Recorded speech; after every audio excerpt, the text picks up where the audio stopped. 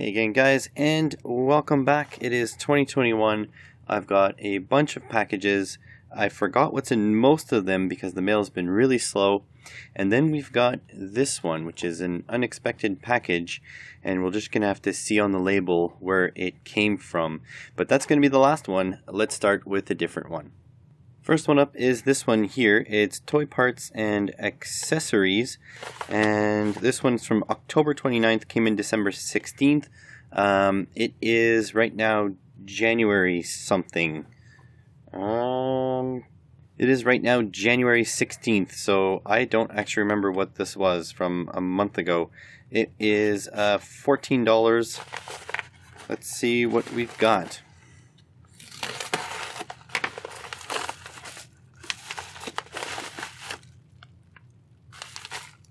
Oh. Huh. Okay. Well, uh, these things are actually something I was concerned that they weren't in yet. But they are in. Okay, well that's good. I guess, you see, I forgot about them so long that, um, yeah, I basically was concerned they weren't here. So my Patreons know I have a project that I'm working on, and these are for that project. Um, I'm going to have to do some testing with certain things. Uh, I can't tell you guys too much. It will go on a brushless motor.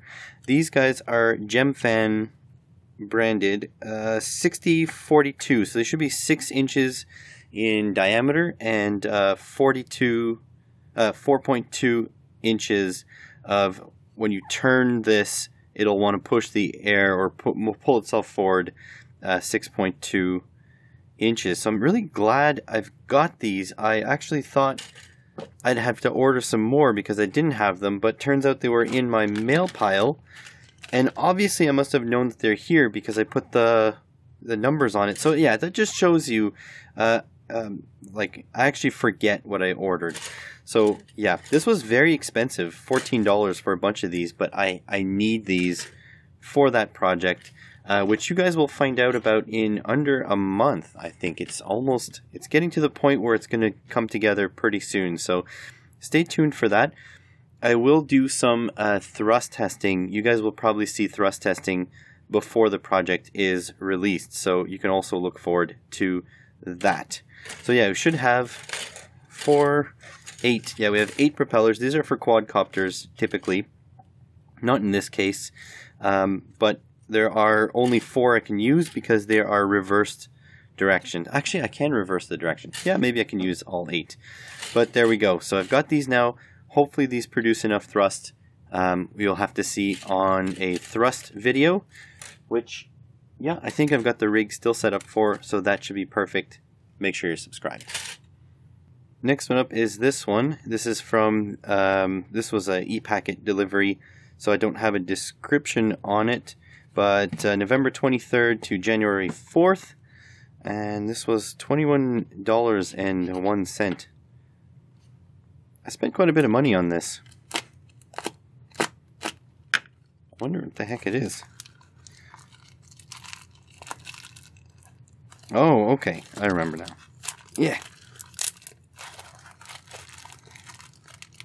Come on. Wow, this is really well packed. Um, let's see. Try to cut this without cutting myself or the stuff inside. There we go.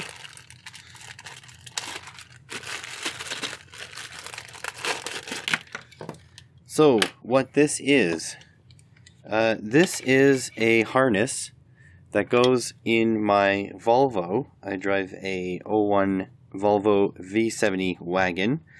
And what it does is it adds auxiliary audio and Bluetooth to the stock radio system.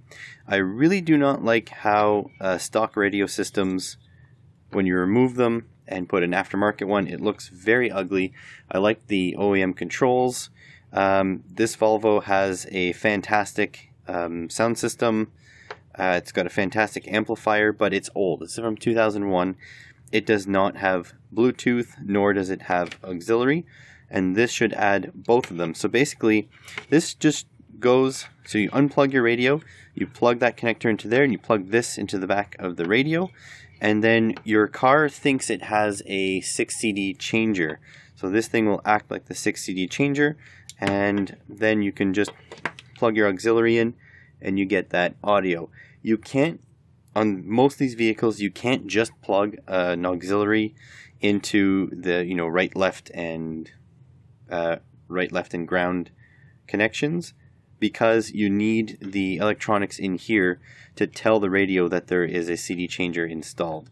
Now, I plan on actually getting the whatever this box does, I plan on getting that information for other people who want to DIY it, but I couldn't find that information anywhere, so I just decided to order this. So, uh, if you guys are interested in seeing me work on my car, you know, the the interior stuff, um, let me know. If not, I'll just install this off camera. Also, uh, it's not clear if this will plug into my specific radio, so even if you do want to see that video, it may not be seen in the end, but I mean, if you want to see it, let me know. Next one up is this one here. Uh, this is actually a repeat of another item I got, I think in the last mailbag video. So this was $7.50, November 11th to January 6th. Um, basically, I had to order it again because this one's from AliExpress and the seller wanted another like $4 for shipping after the purchase was done. So I figured it would just never show up. Also, I was not 100% sure how much of this stuff I needed. So I was just like, you know what, I'll order another one from eBay and if it comes in, it comes in. If it doesn't, it does not. So this is it here. So this is thermal tape. So it's a adhesive, which is a thermal conductive. Now you see, get my fingerprints because of all the ink from me uh, hiding the, uh, the, the labels there. Um, it's super thin, but it does have a little bit of thickness, and uh, I built that water cooling system that you guys saw. And so now I'll get to be able to put my thermoelectric coolers on top and we can start doing some temperature testing. So yeah, this is going to be part of that. Now that I've got two rolls, I also, because I really need this for a specific project, I also am more than happy to use some up on the tech projects and see what kind of thermal conductivity this thing has. So yeah, going to be pretty cool. Make sure you're subscribed for that. Next one up, we've got these two here. I think these two are sort of related, so I will open them up together. And that also gets us close to our um, special package here. So this one, $3.76, October 31st to December 18th. This one, uh, $8.48. This one comes from November 17th, delivered on December 15th. Um, this one's from the drop shipper, so there's no details. This one, nylon hex nut M3. Oh, that's that's a little spoilery now, isn't it? So there's one. And there is another. I'll zoom you guys in though. These things are pretty small. So what these things are these are M3 nuts, which I have. This is my uh, box of hardware here. I've got some M3 nuts, but these are special because these here are Nylock. So I'm not sure if you're going to be able to see this or not, but they have like a nylon ring in there. And the nylon ring, what happens is when you thread your bolt into it, the nylon ring gets warm and deforms and then cools down onto the threads. So it actually um, sort of locks itself in place. It won't shake itself loose. My experience, these things work a lot better than, let's say, um, lock washers. I don't believe in lock washers at all. And so this is my kit of hardware here and these will just join this kit probably about here and here I've got you know all the way up to I think these are M6 uh, well, they must be M5. These are M4, M3. I'm starting to build up the M3 hardware stack here. And these lock nuts will go either here or here. I think everyone should have a box of bolts like that. So anyways, these are M3. They will fit well into here. They should. Yeah, there we go. So yeah, they fit perfectly. That's excellent. Not very expensive. Three dollars. I got a. I think I got a hundred of them. These here are a little bit more complex. I mean, they're the same kind of thing. They're a nut, but these are what are called T-nuts. So, not sure again if you're going to be able to see this, but it has like a flange and it's got teeth. Now, generally, these are made to be pounded into wood, and then you come with the, the, the bolt from the other side.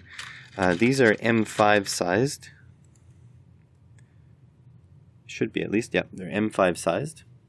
There we go. But I think these are often overlooked for 3D printed stuff because I feel like I can easily mold or easily design uh, cavities that these teeth go into, and then you have a really big spread of you can spread the load over a very big section here. And especially being an M5 I mean I feel like you can get a good squeeze on parts. You can hold things together pretty well. Uh, this one here seems quite crooked. You can see that. But again it wouldn't matter. It'd be to hold parts together so these are M5 impossible to find these things locally uh, even the Canada-wide distributor of fasteners don't have these. So I picked them up on eBay. A hundred of them for eight dollars. Uh, I think a hundred of them will be a lifetime supply for me. So I'm not too worried about that. I just need them in stock. So when I have projects, I'm ready to go. So on to the next one.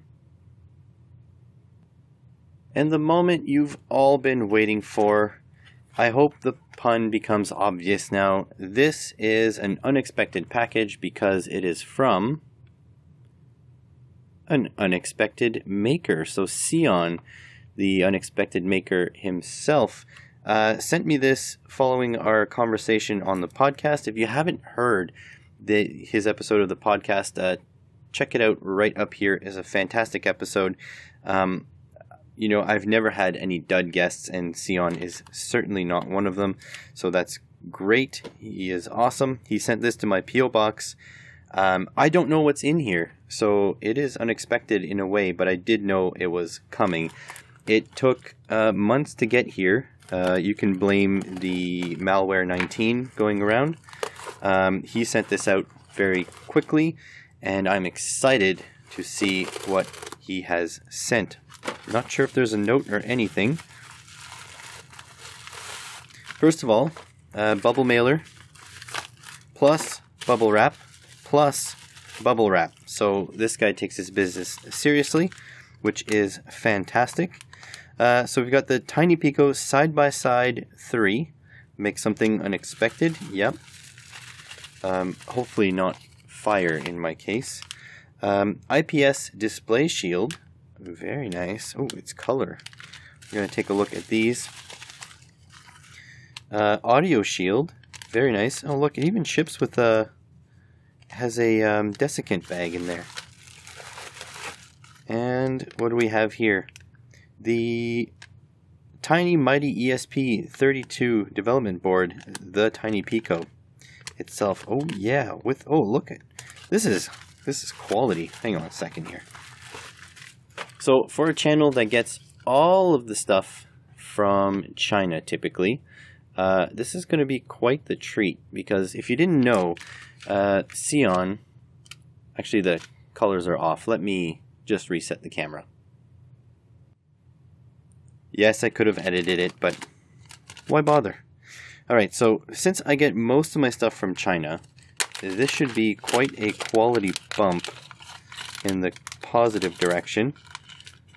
So let's see here. This is the Tiny Pico himself. Now, if you didn't know, uh, Seon gets these this the blank circuit boards manufactured, and then he has a pick and place machine that takes all these components.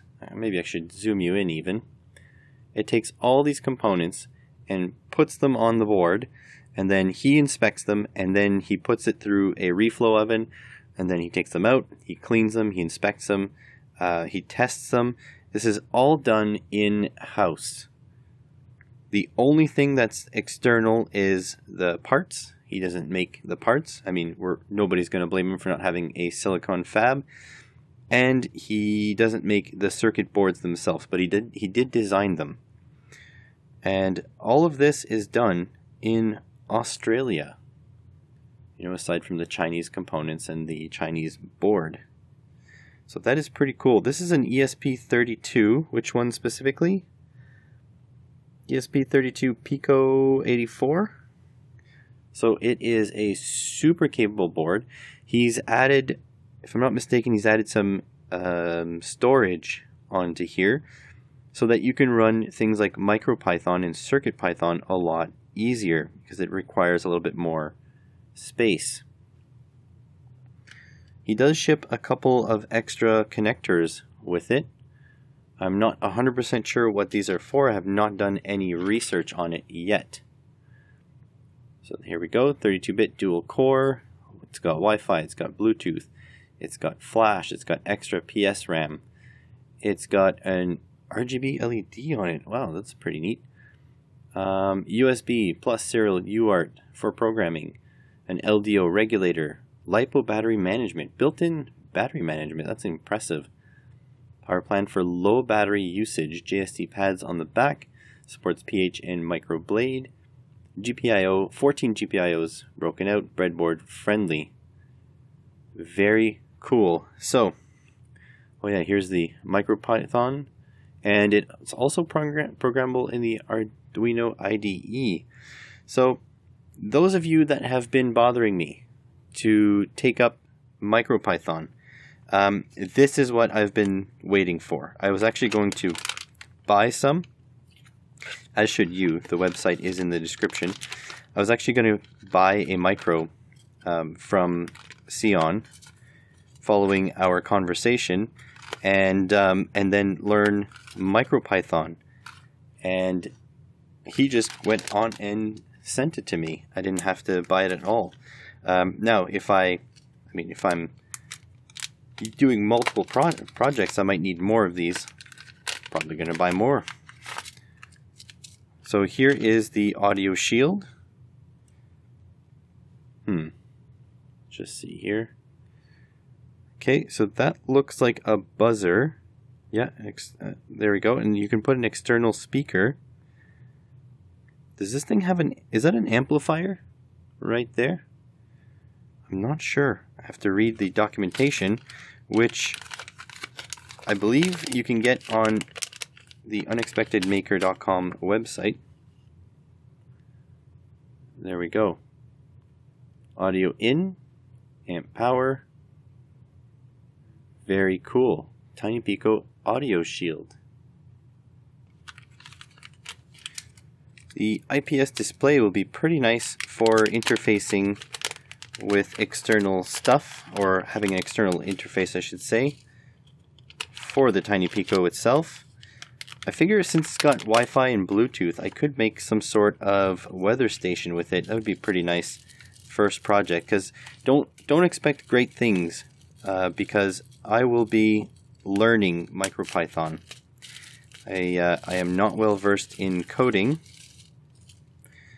There is the, I, wow, this is this thing is tiny. Look at the size of that. So it's not stuck down, and I'm assuming that's because you get to choose where you want to put it. There's the, whoops, there's the driver and stuff on the back. Very nice. And the last one is this side by side. I believe this is to have three tiny picos. Oh, there's 3D printed parts. This is the bottom side. So I believe this is to have three tiny picos. Yeah, and sharing uh, power and ground and stuff so you don't have to distribute it. Not 100% sure. I have not looked at the documentation yet. But look at that. It's got it's got 3D printed parts. Shine it just right. There you go. Should be able to see it now. That is neat. And I have to say, these boards are super clean. There's no residue of anything on them. Everything looks very professional. That's awesome. So yeah, if you guys have a couple of ideas for simple starter projects I can do with the Tiny Pico, uh, I'm going to run example code first, but if you've got anything interesting that I should give a shot at, that was awkward, let me know in the comments below. I might take your suggestion, I might not. Either way, though, I need to learn MicroPython. I think it's time. And so that's it. This here makes up um, the first mailbag of 2021. I want to give a special thanks to Seon, the unexpected maker. There is there are links in the description. Go check out his stuff. If you want the world's smallest uh, ESP32 development board, just go check out his website and pick it up. This is all designed, picked and placed and soldered and tested by Seon himself in Australia. He's a great guy. Listen to the podcast episode. Uh, and also a special thanks to my Patreon patrons. Um, they're starting to become more of you, which is really endearing. I, I don't know I don't know why you guys feel the need to support me, but just know that it is incredibly appreciated. Been struggling with some time management, been struggling with some personal problems lately, and you guys uh, make all of this worth it. I'm really happy to have you guys. And uh, if you guys want to join my Patreons as being the coolest people on the planet, there's also a link in the description. Thanks for watching, everyone. Uh, let's hope 2021 is better than 2020.